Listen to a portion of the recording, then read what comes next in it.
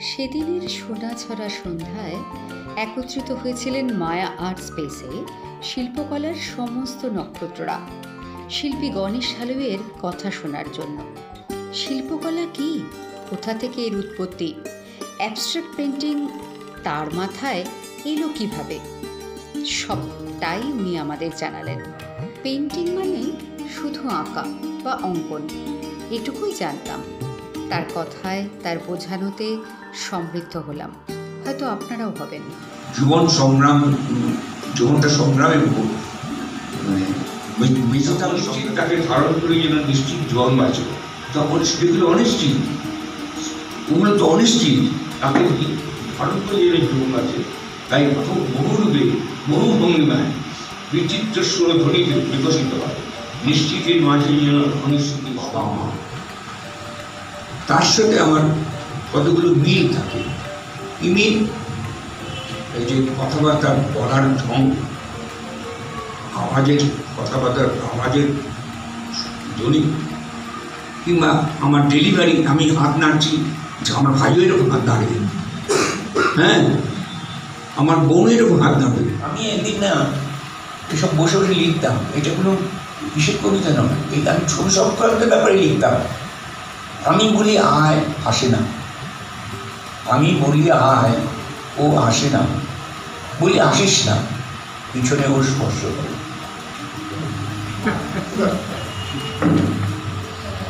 আমি না, এইগুলো কিন্তু কবিতাটা ঠিক নয়। এটা কোনো প্রেমের কবিতা নয়। এটা হলো আমার ছবি আঁকার জগতের কবিতা। আমি সমগ্র যেমন দেখি, পিছনে তেমনই দেখি। উপর নীল চতুর্দিক আমার চোখে ভাসে। আমি নক্ষভ্রষ্ট পতলরা দিশে আলো অন্ধকারে বন্দি আলো, আমি দেখি কারোর আলো ইঞ্জিন জ্বালাও? যদি আমার ঠিক পড়াশোনা দরকার, জানা দরকার, আমার কিছু জানি না।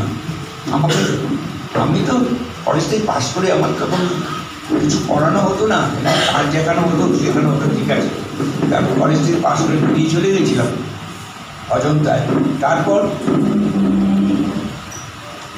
যখন নাইনটিন সিক্সটি থ্রি শেষের দিকে অক্টোবরে আমি সিক্সটি আমি যখন কম্পিউটার জয়েন করি, তখন আমি দেখলাম যে মাস্টারি করাটা ভীষণ কঠিন, বিশাল কঠিন। তখন আমাকে নিজেকে তৈরি করতে হবে আমাকে অনেক কিছু জানতে হবে আমি তখন ইতিহাস জানি না। আমি কি কলেজ লাইফে আমি বলকে বলে গিয়ে আর্টিস্ট ডাক্তার আমার দামি এলিসমেন্ট ভিনসেন্ট ব্যাংকক ওকে জানতাম বাবা ওকে বলতাম ভিনসেন্ট ভ্যানগকের মতো হতে চাইতাম, এরকম একটা ভার্টিক্যাল লাইন একটা গাছে আছে একটা হরিজেন্টাল লাইন গাছে আছে সব গাছের ভিতরে নেচারের ভিতরে আছে এবার বোর্ডে কিছু আঁকিবুকি করে বোঝালেন কোনটার কি মানে এক এক করে সবটাই আমাদের বোঝালেন মনে সমান তাহলে পৃথিবীর উপর নেই এমন তো নয় সমান একদম গাছের মতো নয় তাই না কিছু আছে যদি একটা এরকম করি মনে কিছু আছে, কিন্তু এই সেন্টারে আছে, কিংবা একদম শেষ উপরে চলে গেছে, তাও নয়। একটা সীমা আছে। একটা গাছের সীমা কি পাহাড়ের সীমা তখন যদি এটা মাঝে আছে, কিন্তু একদম মাঝে তাতে কোনো জিনিস আমার ধারণা নেই। আমরা শুধু দেবতার দেবতার মূর্তিকে মাঝে বসাই। দেখবে দেবতার মূর্তি সবসময় কিন্তু সেন্টারে থাকে এরকম সেন্টারে তাকে কখনো সাইডে সেন্টার। কারণ সেন্টারটা হলো মানে দৃষ্টি। মানে টেনে এখন এই পৃথিবীর যে বেস লাইন হয়, এই বেস লাইনের ঠিক মাঝখানে এরকম যদি লাইন যদি স্ট্রেট করে যায়, এটা কিন্তু মনে ধরছে না। মনে ধরছে কীরকম? এটা যদি কিনারে যদি ওঠে তাহলে যে মানুষ ন্যাচুরাল সেটারে নয় সেটার ধারণা কম কিন্তু- আবার এটা যে সমান হতে যায় তা নয় এটা যদি আবার ছেদ ছেদ মানে এটা ছেদ মানে এটা শেষ তাহলে এক নম্বর দু নম্বর, তিন নম্বর, এক নম্বর, তিন নম্বর থেকে ভালো আছে আবার এটা এটা এরকম গেছে যে এখান থেকে এইরকম থেকে খুব ন্যাচারাল মনে। খুব ন্যাচারাল চার নম্বরটা খুব ন্যাচারাল মনে। খুব ন্যাচারাল তারপর যদি পাঁচ নম্বর বলি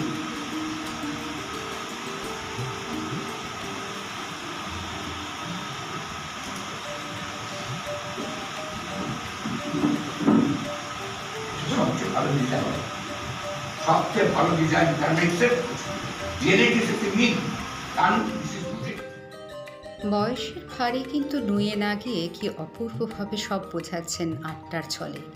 এই জন্যই উনি শিল্পী গণেশ হালুয়ে।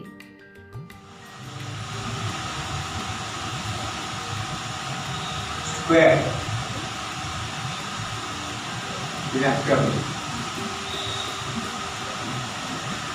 একটা এই দুটো জিনিস আমরা দেখি সহজে ওই লেক আমার বিল্ডিং বানাই ঘর বানাই সব কিছু বানাই কিন্তু নেচারে নেচারে আছে কোথায় পাহাড়ে ফিজিক্যাল ফিজিক্যাল ফর্ম সেখানে পাওয়া যায় সেখানে স্টোনে স্টোন কিন্তু ওগুলো কমন অভ্যস্ত অভ্যস্ত এই এগুলো অনভ্যস্ত এই যে দুটো পপ এটা হলো অভ্যস্ত পপ এই অভ্যস্ত পপের ভিতরে এই পপটা যদি আমি কি দাঁড়াচ্ছে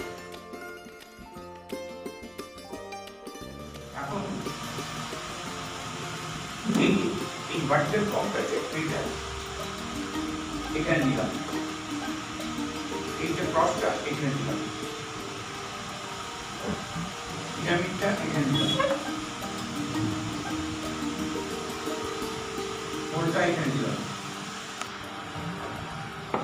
সাধারণ লোকে জিজ্ঞেস করছি এটা কীভাবে কিন্তু এটা গাছ তাল গাছ এটা পাহাড় একটা সূর্য এটা জল এটা পাহাড়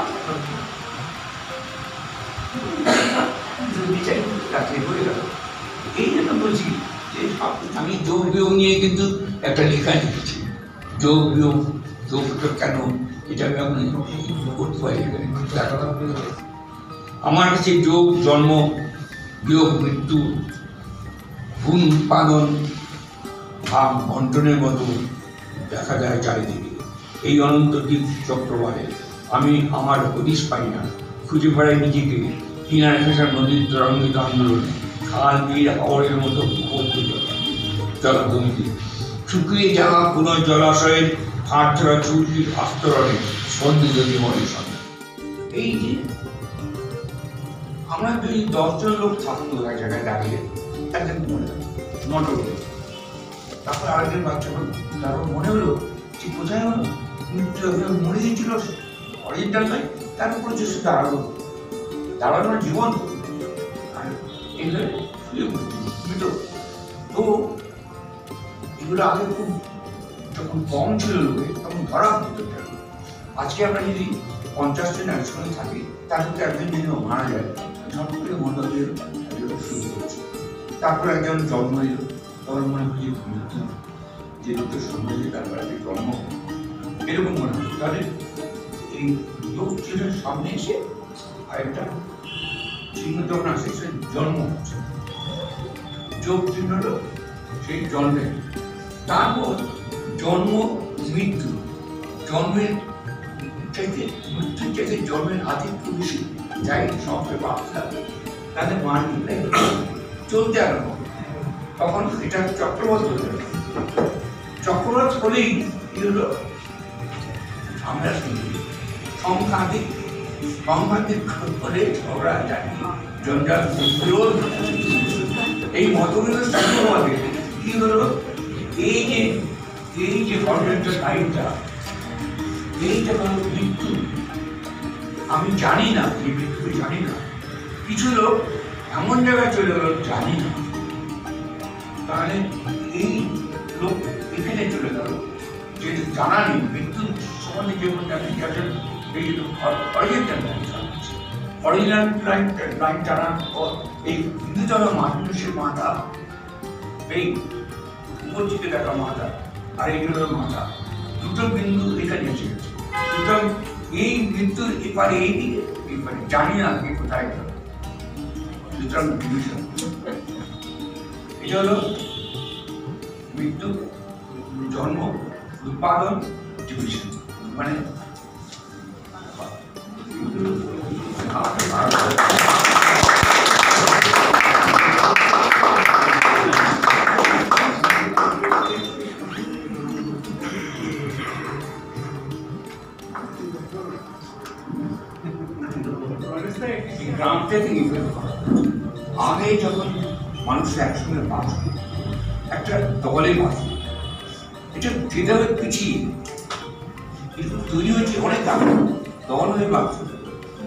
দলের সরকার সেই তারা তাদের একটা নিজস্ব দেবতা তৈরি করছে, তারা তারা পুজো করতো এবং মাঝখানে একটা বোধি বৃক্ষ থাকে।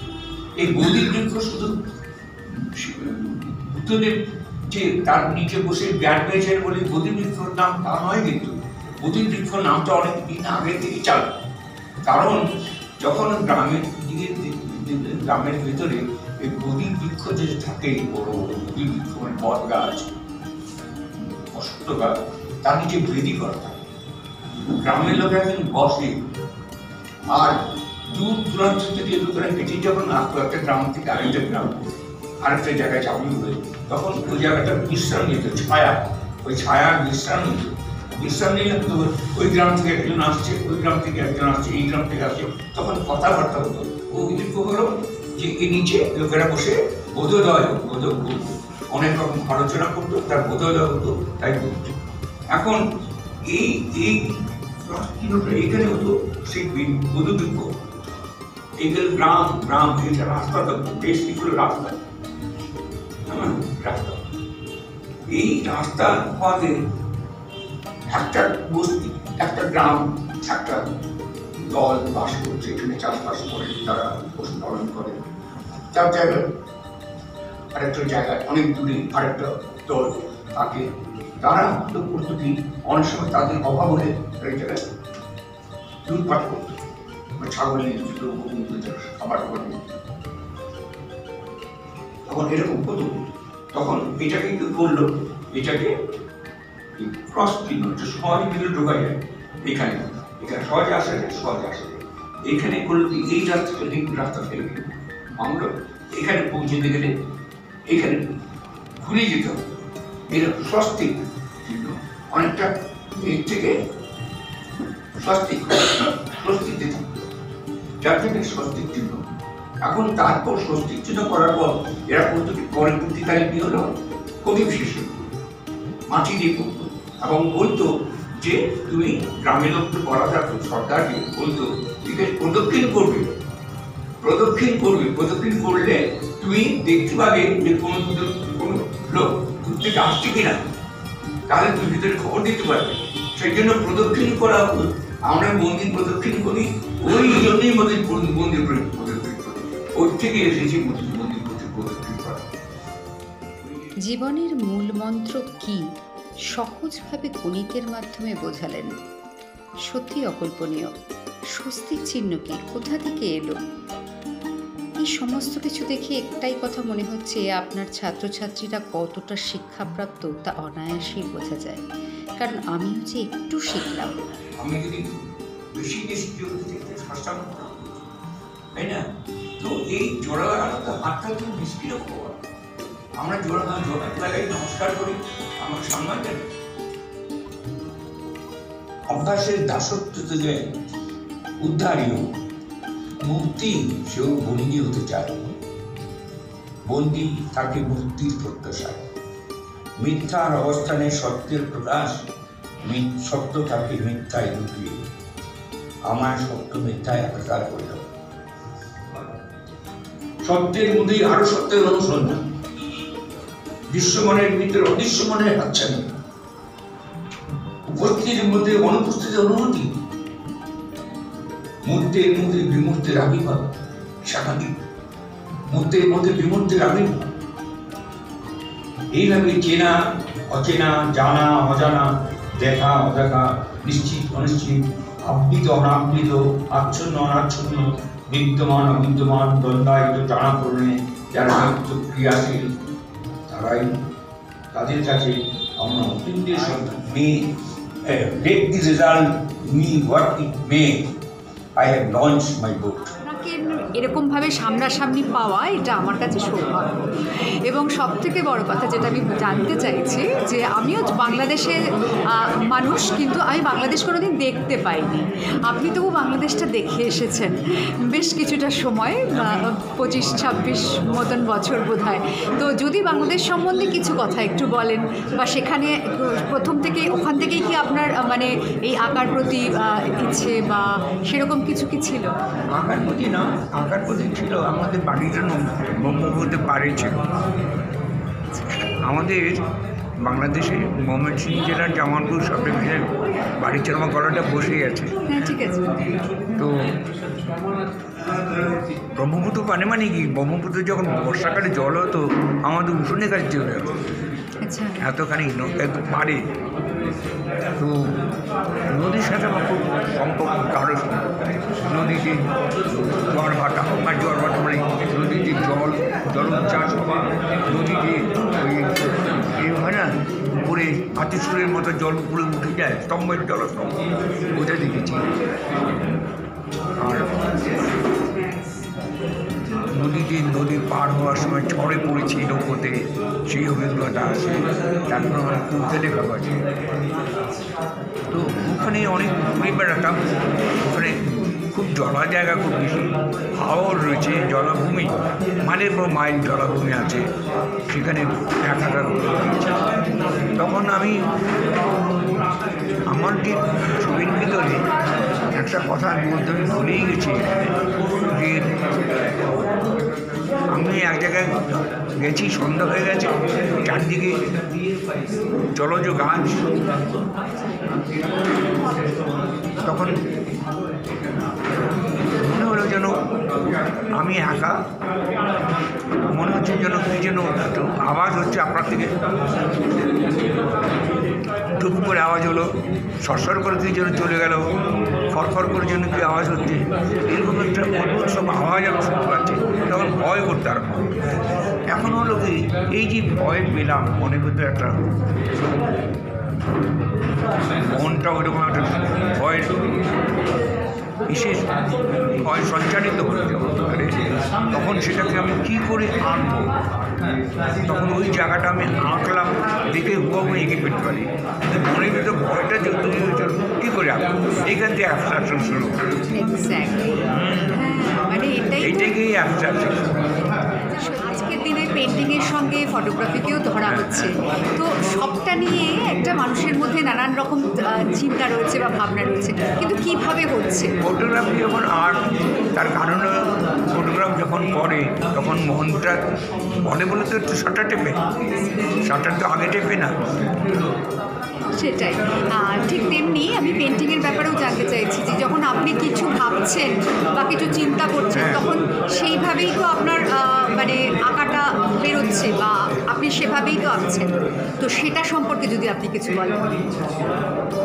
না আঁকতে বসে যখন আঁকি আমরা তখন যেটা আঁকতে গিয়ে তৈরি হয় আঁকতে গিয়ে তৈরি হয় আঁকতে গিয়ে তৈরি হয়। আগের থেকে ভাবনা আমরা ভাবি না। যখন কাগজটা থাকে, তখন সাদা কাগজটা আছে যখন আমার ক্যানভাসটা থাকে, তখন পুরো ভাবি।